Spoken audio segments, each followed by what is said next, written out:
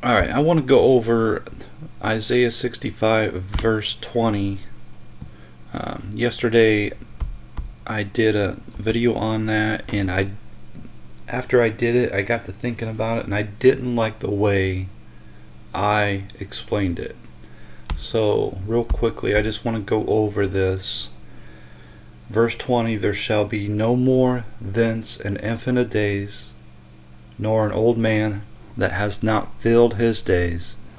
For the child shall die an hundred years old, but the sinner being an hundred years old shall be accursed. Alright, so if I could, let's just focus on the latter half here. This is the difference between a saved person and an unsaved person.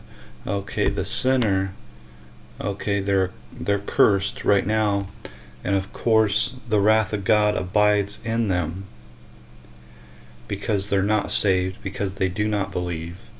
And then, of course, the child shall die in 100 years old. So, the, the child is referring to the saved. All right, we are the children of God that are saved. So, when it says, uh, For the child shall die in 100 years old, I believe this means that those of us that are saved, uh, we will, uh, we can be saved. You know, all any at any point in life.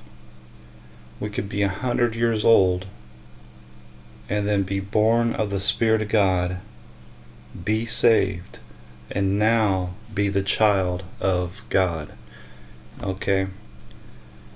That's a point that I didn't get across yesterday. Just wanted to share it, put it out there. Let me know what you think.